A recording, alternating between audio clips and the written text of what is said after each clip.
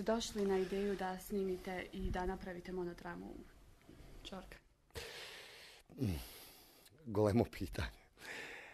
Još dok sam bio u osnovnoj školi, pao sam zaljubljen u taj lik Andrčev i mm, taj mene priča jednostavno fascinirala da sad kao neka švabica dođe pa šeta po žici. Uvijek sam kao dijete volio cirkus i ta priča me je potpuno onako baš dojmila. Ja sam sa nepunih sedam godina prvi puta odveden u pozorište, ali kao glumac, dakle kao dijete. Cijelu svoju osnovnu školu, gimnaziju, ja sam prvo u pozorištu. Dakle, već u srednjoj školi ja sam pročitao sve što je Andrić napisao, a iznad svega sam stalno tražio ako ima još i ole neki zarez o Čorkanu, pa da ga pročitam. Kada sam upisao akademiju, htio sam ovo isto da uradim, međutim, shvatio sam da sam premlad da mogu da igram Čorkana, bez obzira što sam glumac na akademiji. I onda, kasnije će život proći i shvatio sam da me ta ljubav prema tom liku nikad nije ostavila, napustila i onda jednostavno e, sam sam shvatio da mi treba i glumačko i životno sazrijevanje da bih mogao da se uhvatim u koštac sa jednim takvim likom.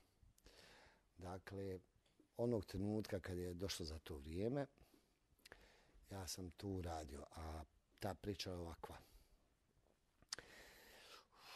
Ja sam uh, u ratu svome ocu slao uh, lijekove, novac, hranu, a on je meni jedne prilike poslao jedan komplet Dostojevskog koji je on men kupio kada sam ja diplomirao u gimnaziji.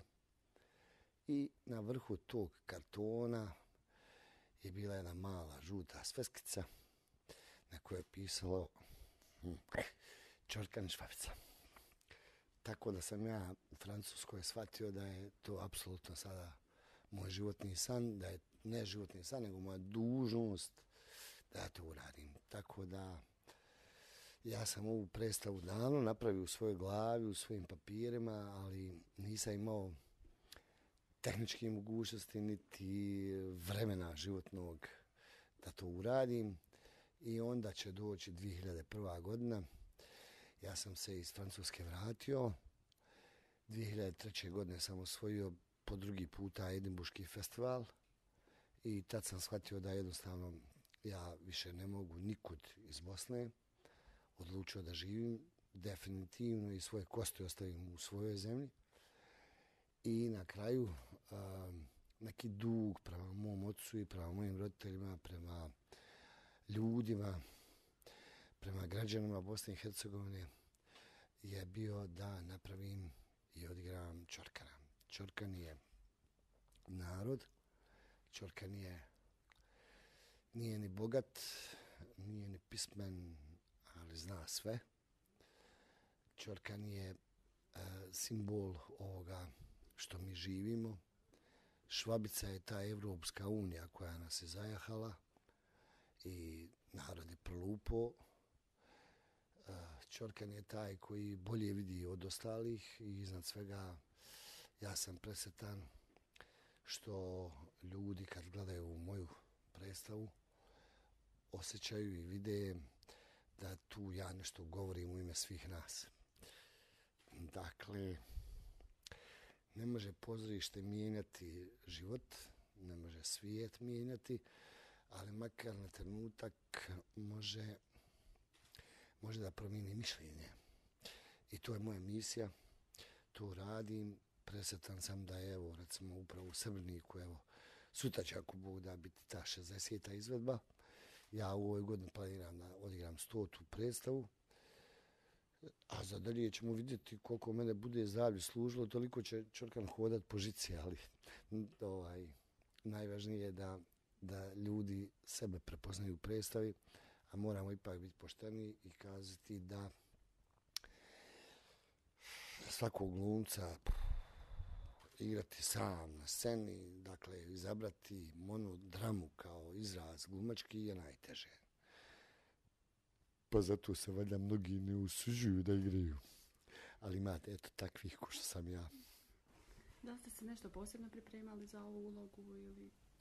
Pa, pa, pa mislim ipak, uh, znate, pitanje slobode je pitanje odgovornosti za taj isti izbor. Dakle, izabrati nešto, zaista morate odgovarati, tako da je meni jako teško. Ja svaki puta proživim jedan život igrajući to i svaki put me naravno to košta po srcu, po duši, po jetri. Nije baš lako, ali ovaj, e,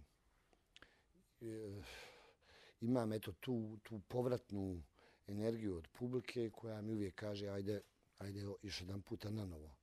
Tako da su me ovi vaši sugrađani ubijedili da e, recimo sutra treba odigrati za malu raju, znači srednjoškolce i ja ću to vrlo rado uraditi, ali vjerujte da nije lako, a, a ne treba nikog lagat. Dakle, i sutra moram isto da se dam kao što sam se i večera zdao. A to baš nije baš lako.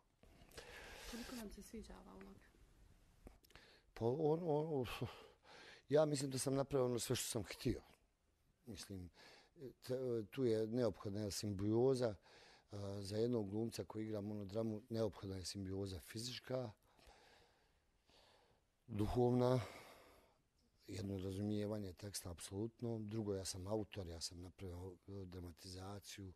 Mislim da, da, da jedna od ljepših kritika mi je bila kada mi je neko jako ozbiljan, do koga ja držim, rekao da bi i sam Ivo Andrić da je živ, da bi potpisao tu izvedbu. Znači, to je zaista moje autorsko dijelo. Ja sam sve na ovome svijetu iščitao što je vezano za, za Čorkana.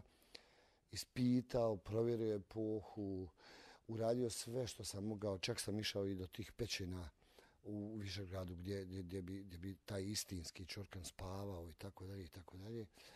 A u stvari, Alić je lijepo rekao, to, to mislim baš ta rečenica koja je najbitnija. Čorkan je kao jedan umjetnik u sredini koja ne priznaje umjetnost. To bi bilo to. Tako i danas jedan glumac u Bosni i Hercegovini je zaista umjetnik, ali živi u zemlji u kojoj se umjetnost ne priznaje.